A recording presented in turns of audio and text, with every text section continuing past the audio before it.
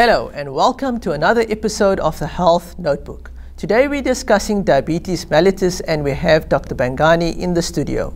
Dr. Bangani, welcome. Thank you. It's very good to be here again. Uh, Dr. Bangani, we, we're discussing diabetes mellitus today. Uh, could you just explain to the viewers what is diabetes mellitus?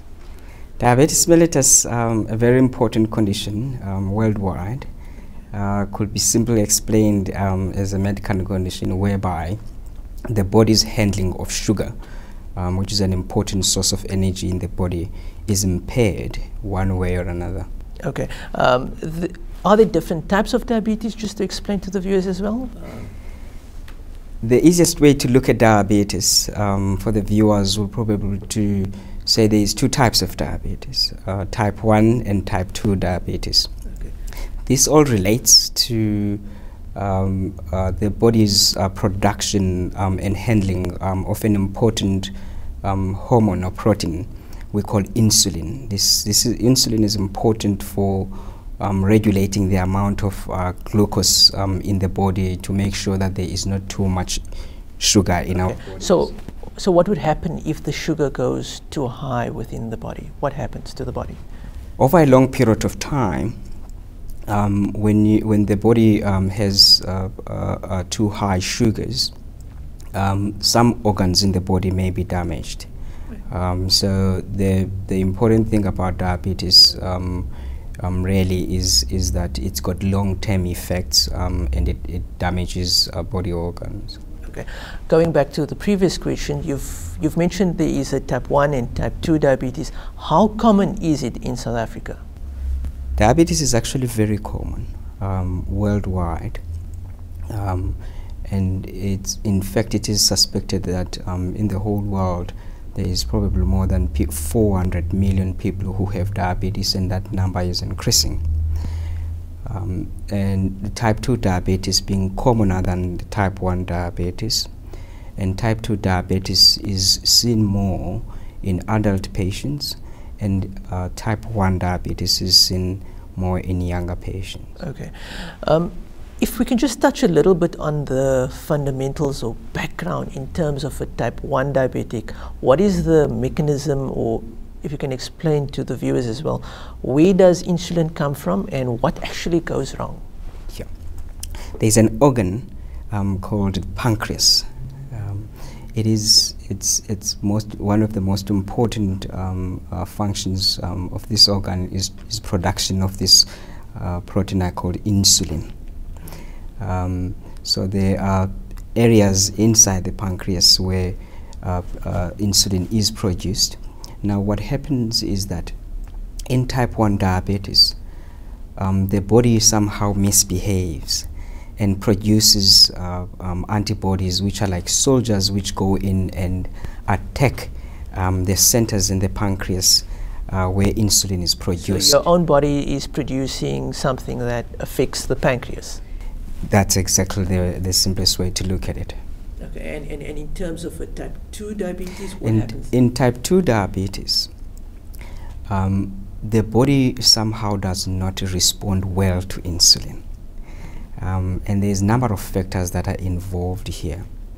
Um, but um, what is important at the basic level is the fact that um, there is a difference between type 1 and type 2 and the difference is in the fact that there is still production of insulin in type in type 2 diabetes uh, but the body's handling of the insulin and its its response to insulin is um, impaired in some way to a point that the sugar in the body still remains high um, and and that causes the state of diabetes mellitus. Okay, so going back now to type 1 diabetes, just to explain to the viewers, how would they know that, or, or, or what is the signs and symptoms um, that you'd know that you have, that you are type 1 diabetic? Yeah. Uh, overall, uh, uh, I think we could we could group for both condition for um, for diabetes as a whole, and say that um, uh, patients with diabetes uh, may go for some time and not feeling the, any symptoms. So um, okay, could you explain to the viewers about the signs and symptoms of diabetes? How would the viewers know that they if they have diabetes? What are the signs and symptoms? Very important question because many people uh, uh, may have diabetes and, and not know about it.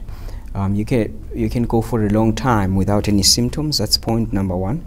But uh, uh, at some point in time, most people will develop symptoms, and uh, these symptoms are usually related to um, the fact that sugar tends to attract water. So when people urinate, sometimes we, we, when you've got too very high sugar in your body, you urinate some of that sugar and it goes away with water um, and you end up being very thirsty as well and you drink a lot of water. So drinking too much water and urinating frequently uh, more than uh, is usual is, is uh, important signs um, uh, to notice and, and, and in addition to that most people will also complain of losing weight. Um, so if you develop those kind of symptoms, it's important to go and check if you've got sugar. Okay, is the losing diabetes. weight associated with a specific diabetes or? Not necessarily. Um, generally, um, uh, uh, for both for both type one and type two diabetes, it's it's it's uh, it's a common symptom. Okay, so just to explain to the viewers now, what should be done now to confirm that an individual has diabetes or what needs to be done? You go to a medical practitioner. Uh, you give him a little bit of a history in terms of you drinking a lot of water at night and uh, feeling thirsty as well. What should actually what should be done to verify that I've got diabetes now? Yeah, so so I think I'll go back also a little bit before I answer your question directly and say that um, because of the fact that some people may have diabetes and not know about so it may be important sometimes for people to go and check um, if they don't have diabetes, even though they're not they're not having any symptoms. So it should be like a normal routine blood pressure check. Advisable, everyone should check um, if they have diabetes at about age 45, if you are well. If you if if you have a family history, a first relative, um, uh, a first degree relative who who has diabetes, you should be checking at a younger age um, and all people who are overweight as well and who have um, uh, uh, uh, lipid problems or cholesterol problems in, um, uh, that are known, um, then they should check for um, diabetes as well. But for for general population, um, uh, for any for someone who doesn't have any of those problems, probable it's safe to just go and check at about age 40, 45. Um, uh, but uh, coming back to your question about what happens next once you you are suspected that you may have symptoms um, of, of diabetes, then you go and uh, visit a, a, healthcare practitioner, and it is very easy to check for um, for diabetes. A number of things will be will, will be done. Um, most probably, you will have what we call um, random glucose check. Okay, and just going back as well, you've mentioned the normal screening process where one should just have the sugar check. This can be done at a normal pharmacy as well, I'm sure. Yes, yes.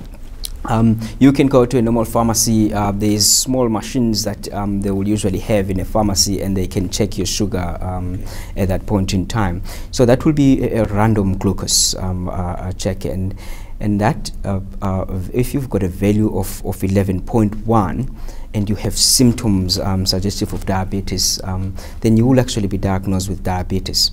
Um, but if there are any doubts, um, then uh, a, a, healthcare practitioner can um, do other forms of testing for diabetes. This can involve um, uh, uh, a form of testing we call um, fasting glucose test. Um, or and what does that entail when you mean it, fasting? It, it essentially entails um, uh, checking your, your, your sugar level after you have been you've starved for about eight hours. Okay, so that would mean that you wouldn't eat anything in the evening. And, and, and the following morning, if your if your sugar level is above uh, seven, for an example, then you, you, will, you will probably be diagnosed with diabetes. There's also this term known as a pre-diabetic state. What does this mean? Yeah, the, the, there may be a state. There may be a state where uh, someone has not developed, has fully developed diabetes, um, but is, a, uh, is having a condition that uh, uh predisposes um, uh, that particular individual to to diabetes. And this is, this is where the values um, that uh, uh, when we test for, for your sugar, then the values are not complete are not really um, a diagnostic of diabetes, but at the same time they are above the normal ranges. Um, so such kind of patients might have to be watched over a period of time um, because there is a tendency for, for, for such individuals to develop diabetes later on in life. Okay. So you've given the viewers some background in terms of diabetes. What are the complications if you don't manage diabetes? What can, what can result to you with you? Diabetes uh, or high sugars in the body over a long period of time tend to cause damage to many organs in the body. And these organs are eyes, the brain, your heart, kidneys, um, nerves, um, and, and uh, any of those organs can um, be damaged by the diabetes. Okay, so when you speak about eyes and these other organs, just explain to the viewers what ha- what would happen uh, to the eyes. I mean, would, what are the complications associated with the eyes? Yeah. Um, the, the main thing really is the fact that diabetes um, tends to be, in a way, toxic to um, uh, blood vessels. Um, so there's blood vessels that supply the eye.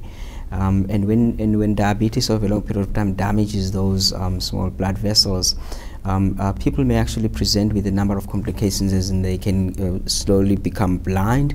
Um, sometimes uh, people can bleed into the back of the eye. Okay. Um, and, and there are certain changes, in fact, that a healthcare practitioner can um, notice if the eye is already um, being damaged from the diabetes.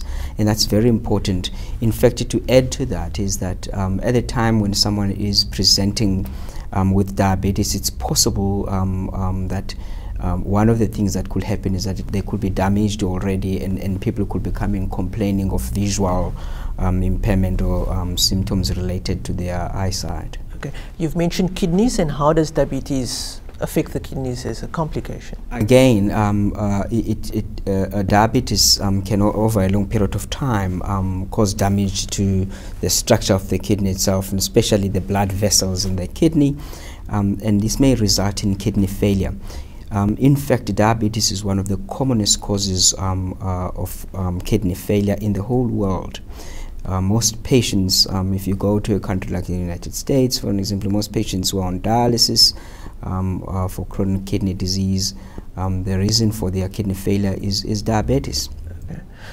Any other any any other complications that you'd maybe want to As I've already highlighted, um, uh, uh, the damage really um, happens to many other organs in the body. People can suffer strokes, okay. um, people can suffer heart attacks, um, nerves can be damaged, and people can have painful feet. Um, and, and because of the damage in the nerves, the ability for um, one to uh, uh, perceive pain may be impaired, and that uh, may predispose one to injury. For an example, in the in, in the feet, if you get injury and and one and one doesn't um, uh, feel that uh, feel pain um, that well, um, that may actually cause injury to to the um, to the foot.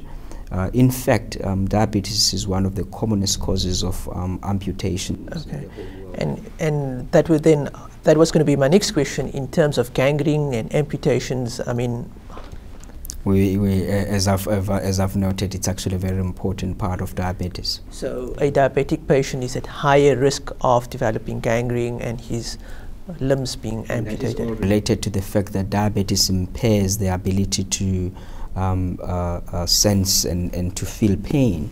Um, and and, and this, is, this, this is usually one of the most important things that a healthcare practitioner will discuss with any person who's diagnosed with diabetes, um, what we call foot care in diabetes. Um, but we can talk about that later. Okay.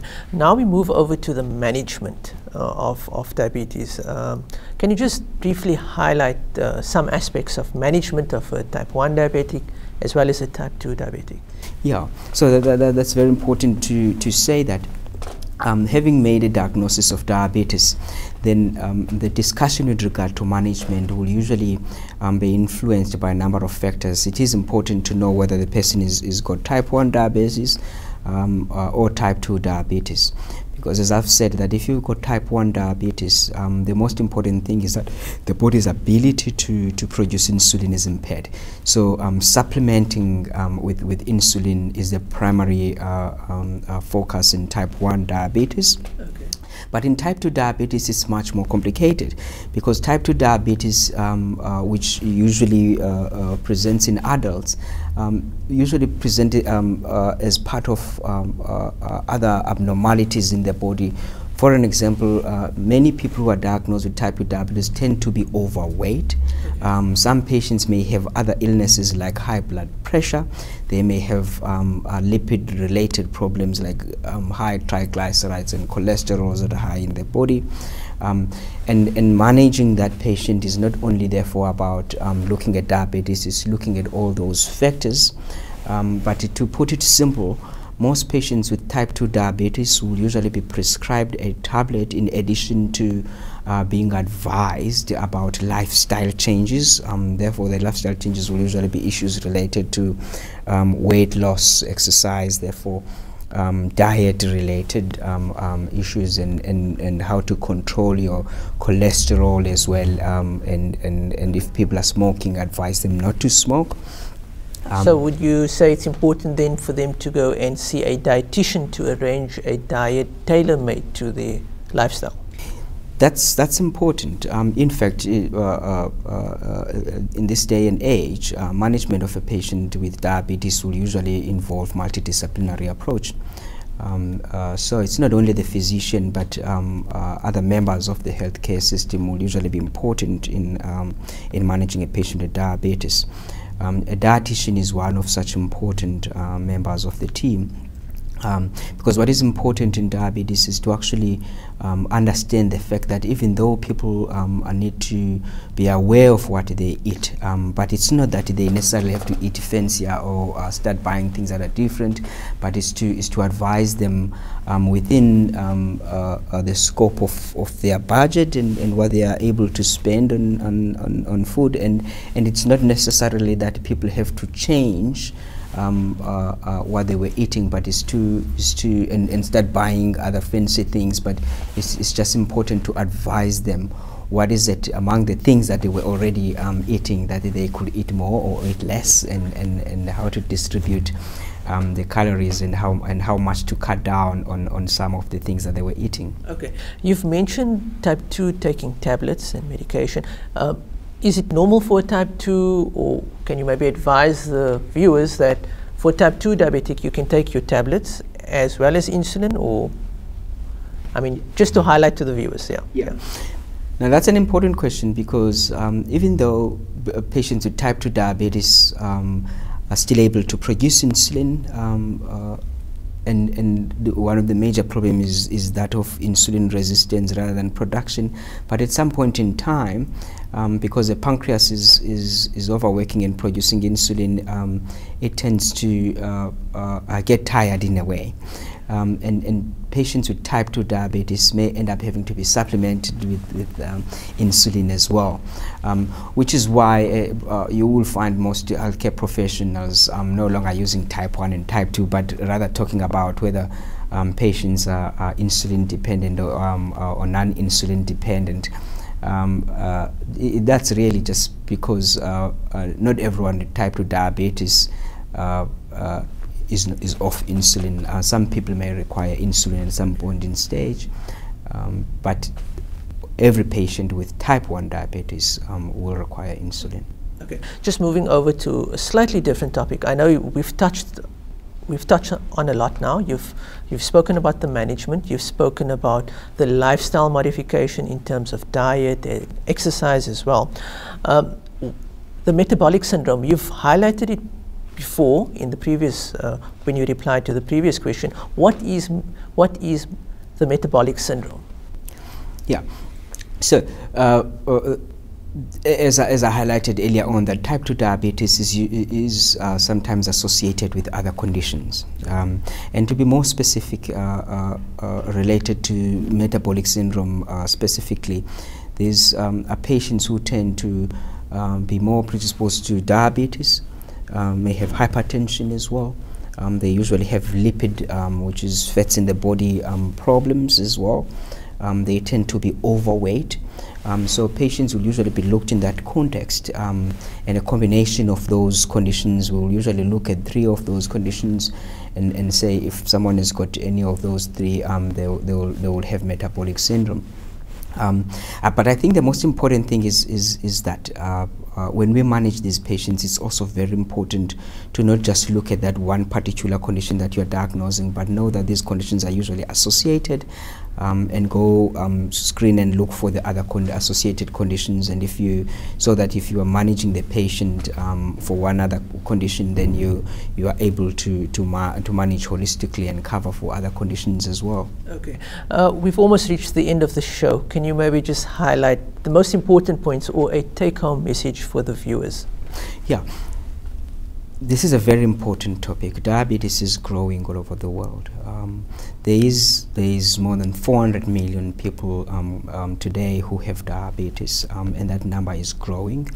Um, it seems that diabetes is more of a lifestyle um, disease, and as more westernized as we get, uh, uh, more diabetes cases in the whole world are noted.